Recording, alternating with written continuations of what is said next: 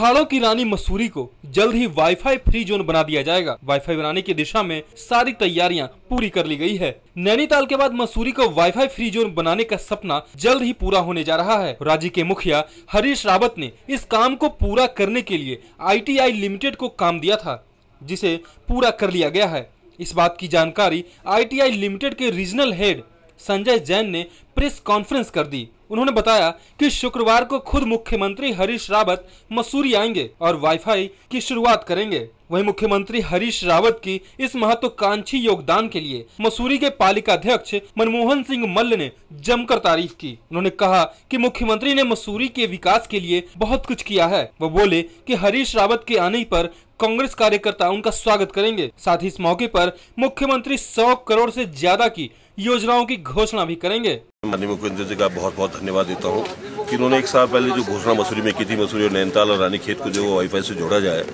जबकि जियो वाले मसूरी में रिलायंस वाले कर रहे थे तो आज वो धरातल पर वो बात आ गई है। और कल माननीय मुख्यमंत्री जी मसूरी आ रहे हैं और इसका शुभारंभ मसूरी से करेंगे तो ये बड़ी सौगात मसूरी वालों को ले भी है और हम लोगों को लिए कि जितना बड़ा सौ करोड़ के काम उन्होंने मसूरी में भी दो साल के टेन्योर में कराए है तो मेरे लिए इससे बड़ी कोई उपलब्धि नहीं है। इतना बड़ा विकास मसूरी में शायद किसी और अध्यक्ष या कोई भी जनप्रतिनिधि नहीं किया होगा। हम लोग नोडल एजेंसी हैं उत्तराखंड वाईफाई प्रोजेक्ट के।